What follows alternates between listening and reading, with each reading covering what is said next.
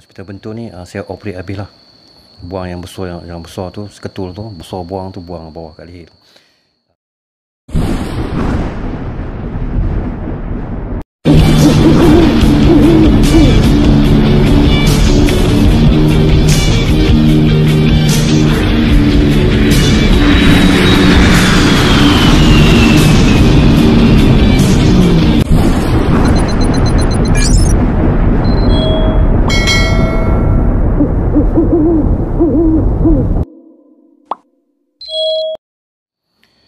Bismillahirrahmanirrahim. Assalamualaikum warahmatullahi wabarakatuh. Selamat datang ke Azlima Keterusan Official Channel. Be yourself, it can rain all the time. Okay uh, Blog video kali ini saya akan berkongsi sedikit pengalaman. Pengalaman Informasi dan review mengenai penyakit Kimura Okay Okay tengok gambar tu ah. Sebelah yang okey punya. Sebelah lagi bengkak ah. sebelah kiri dia bengkak nampak ah. Saya ada gambar tengok gambar tu. Okey. Uh, penyakit kemurahan yang saya hadapi ni saya sendiri pun tak tahu saya ada penyakit. Uh, saya terkena penyakit ni kan. Uh, yang saya dapat tahu uh, tak silap saya yang saya dapat tahu bengkak ni penghujung tahun 2000, 2017 saya lah sebab saya tengok ada lain macam sebelah ni kan. Uh, tu lah. Sejak itu saya dapat tahu. Uh, jadi uh, bila saya dah tahu benda tu faham-faham je lah uh, barulah saya start nak jumpa doktor apa semua buat ni uh, kepada anda jangan lupa uh, jangan lupa klik subscribe klik loceng klik like share ataupun komen okay? jangan lupa Okay, uh, dalam video kali ini saya akan beritahu apa itu penyakit kimura kimura Okey. Uh, penyakit kimura adalah pembengkak, pembengkakan pada bahagian kepala uh, atau leher, suatu penyakit auto auto autoimun. Okey, benjolan di leher biasanya uh, terasa nyeri dan tidak ada rasa selesa. Namun biasa juga tidak menimbulkan rasa sakit ketika dipegang meskipun pada umumnya tiada tidak membahaya. Tapi benjolan di leher dapat menandakan gangguan kondisi kesihatan yang serius jika kita memiliki benjolan di leher baik terasa sakit atau tidak sakit sebaiknya segera memeriksakan diri ke doktor agar mendapat penerangan yang tepat. Selamat. Okey. Okey uh, ni adalah uh, di hospital Kuala Lumpur uh, date uh, 14 hingga 16 bulan 3 hari kat sana. Uh, dekat sana saya ambil sampel dekat situ uh, sampel tissue kat situ. Okey uh, ni kita ambil sampel tisu kat situ uh, tiga, tiga hari juga saya duduk kat sana. Uh, sebab apa? Uh, dalam proses ni sebelum kita nak buat proses yang besar yang buang benjol yang besar tu kat bawah tu jadi kita kena ambil sampel dulu. Uh, jadi saya kena ambil sampel dekat Qualipis hospital Qualipis ok uh, biasalah kan? Uh, masa ni uh, saya kena abuse uh, separuh sedar kan sakit jugalah ambil kan. Tapi macam mana kita nak memudahkan lagi proses uh, nak percepatkan kalau boleh nak uh, nak menyembuhkan uh, penyakit ni kan. Jadi saya kena terpaksa jugalah. Uh, terima kasih lah dekat hospital sana hospital sana okey tak ada masalah okey. Uh, pembedahan tu uh, dibuat uh, tak silap saya pada 15 hari bulan 1 2019 uh, saya kena buang biasanya pada penyakit kimura menyebabkan uh, rasa gatal sekeliling senang cerita penyakit jangkitan kuman lah okey?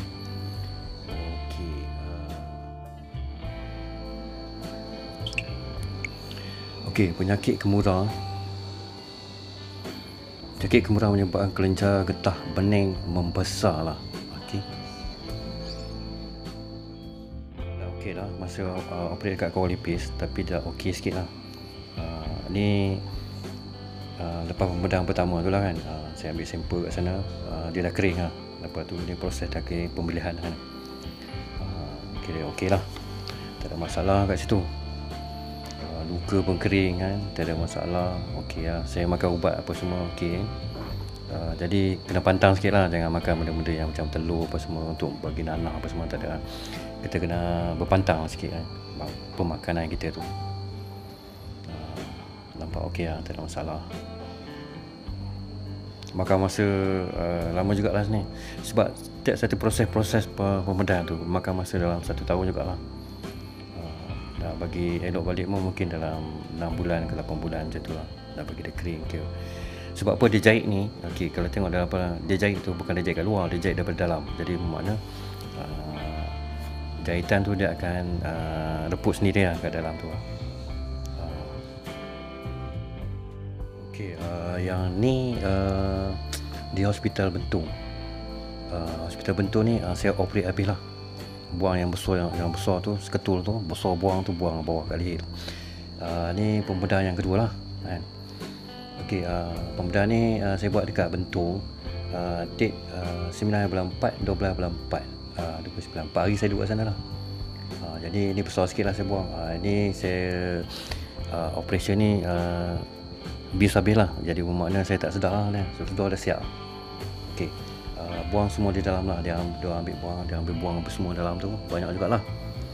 Ok uh, benjolan-benjolan tu uh, yang saya dapati uh, benjolan tu besar tu 1.4 cm. Uh, 0.6 kali 1.2 cm. Paling besar uh, 0.7 cm. Jadi bermakna besar sangat lah tuan jadi makna bengkak tu tersebut dalam anggaran mungkin dalam 5 blok lah tu. 5 blok lah jadi bermakna besar sekali lah. Sebab bila kita buat ultrascan benjol tu nampak besar dalam tu lah nampak lah jadi tu orang doktor ni uh, kalau boleh dia nak buat pembedahan terus lah kan? Pembedahan lah. Uh, tak apalah saya pun okey tak ada masalah. Dia pembedahan. Uh, ni uh, dalam gambar ni saya tunjuk ni ada lepas pembedahan. Okey uh, Okey lah, tak ada masalah pun. Tapi banyak jugalah yang dia buang. Ini uh, saya dah buka yang punya luar tu lah. Tengok dalam lah. Ni dah beberapa hari daripada lepas pembedahan tu. Okey tengok lah. Uh, tengok dia punya panjang juga lah tu. Dia orang buang belah tu. Dia orang buang dalam tu panjang juga lah. Tak tahu lah saya tak ingat lah berapa jahitan yang dia tu. Tapi kalau ikutkan memang banyak tu. Ya, cuba tengok gambar ni. Eh uh, yang ada salib tape tu sebab apa tak dia tak mau bagi dia berkesan. Dia jahit tu dia tak mau bagi kita buka luas. Lah. tu dia tape tu. Uh, salib tape tu. Uh, dalam masa ni memang uh, kesakitan tu adalah kan. Bila dia dapat operate tu kesakitan tu memang ada biasa lah kan. Kalau nak tidur pun uh, kita kena jangan kadang-kadang sangat tidur kan. Takut tercab, uh, terbuka dia punya jahitan tu lah apa semua kan apa bila masih bengkak lagi. Tapi kita pemakanan pun kita kena jagalah jangan makan yang jangan bagi nanah lah. Makan benda yang telur-telur sangat apa kurangkan lah uh, daripada sini kita kena kontrol lah. Uh, jaga pemakanan lah eh? uh, ok susah. Ok dalam masa makan masa lama jugalah. Daripada setahun sana yang dekat Kuala Lumpur satu tahun operate dekat Bentung lepas pada satu tahun operate lagi habiskan semua jadi makna makan masa dalam 2 tahun lah. Okey nampak kan? Okey susah sikit lah kan? Tapi uh, Nak tak nak kita kena Buang jugalah. Itu je Tapi biasalah penyakit kimura ni uh, uh, Dia Kalau macam sibuk orang Satu orang tu kan Dia tak Tak tak macam apa ni? Tak tak semuanya lah. Uh, orang tertentu saja nasib lah kalau terkena kan. Macam kita ni macam saya terkena uh, tak boleh cakap apalah. Uh, jadi uh, itu tak adil lah nak buat macam mana kan. Kalau ada penyakit tak boleh buat apalah. Kita kena usaha cara dia usaha dia jalan penyelesaian jalan pembuat pemedahan buang tu semua. Okey, yang ni adalah masa uh, dah kering sikit lah. Darah pun tak ada pun dah kering dah buang. Saya dah buang tengok nampak ni uh, tengok gambar tu kan uh, yang satu tu dah bengkak sikit lepas tu saya dah buang apa semua nampak okey lah ni masa pemulihan lah untuk proses pemulihan lah. uh, okey biasalah kan masa pemulihan Okey, saya nak beritahu sikit ah. Uh, sebelum buat pembedahan, kita kena ikut prosedur lah. Prosedur dia uh, hospital biasalah. Kita akan kena buat ni uh, jumpa doktor, buat spot, buat cek sana, cek sini, jadi tekanan darah apa semua. Jadi pun banyak banyak prosedur lah kan yang kita kena buat kan jadi uh, test sana test test darah lah macam-macam lah untuk apa semua ni AB AFB, ESR, RP, POT, LLT, FB, uh, C apa benda lah darah apa semua lah banyak lah tu lah uh, baru uh, lepas dah siap komplit semua tu doktor dah tengok apa semua barulah dia kita akan uh, kita akan buat proses pembedahan biosit lah. Eh. Buang semua. Ubat ni sebenarnya uh, doktor kena doktor yang bagi kan. Ikut uh, doktor doktor suruh makan baru kita makan. Ni ubat dia. Ubat ni uh, adalah kalsium karbonat, est est estopcap, estopcap vitamin D punya, lepas tu norip norip norpharma solid. Uh, ni ubat dia lah tiga ubat ni lah. Dia bagi uh, biasalah kan uh, doktor bagi kita makan tapi kita kena ikut uh, arahan doktor kalau doktor suruh makan banyak ni banyak ni kita makan je tu lah. Tapi ubat ni sebenarnya uh, bukan untuk pemenang lah dia hanya sementara saja uh, sebab uh, ubat ni banyak risiko dia tinggi uh, macam-macam uh, ada masalah lah kan kalau kita terlalu uh, jangan makan banyak sangat lah kena ikut turutan makanan ni makan ubat ni Okey, inilah gambar yang yang terki, uh, yang terkini lah. Okey eh. Nampak kan? Dia dah hilang. Uh, cuma tinggal parut je lah kan. Uh, lepas memedal. Makan masa lama juga lah. Berapa tahun juga ni baru nak bagi dia okey balik. Uh, ni lah. Okey. Uh, nampak kan? Dah okey balik. Itu sebab kan. Okey, macam ni lah. Kalau kita ada masalah bengkak apa, tak kira dekat mana, belakang ke apa. Uh, kita jumpa doktor, kita pergi buang. InsyaAllah. Uh, benda tu akan hilang. Tak lama besar sangat lah ada setengah orang tu sampai membesar orang tak nak menjadi menjadi besar Okey, uh, dengan kesempatan pada sini juga saya ingin mengucapkan uh, ribuan terima kasih kepada Dr. Kuali P, uh, Dr. Bentu, uh, adik-adik saya semua, lepas tu Temeluh punya apa semua lah. Uh, ke, kepada yang kata orang ni uh, sebab apa dia orang pun okey-okey tak ada masalah. Dia orang kalau boleh kalau ada penyakit ni, dia orang kalau boleh nak settlekan masalah tu. Bagus tak? saya nak pesan kepada penonton lah kepada yang menonton uh, uh, video saya ni eh.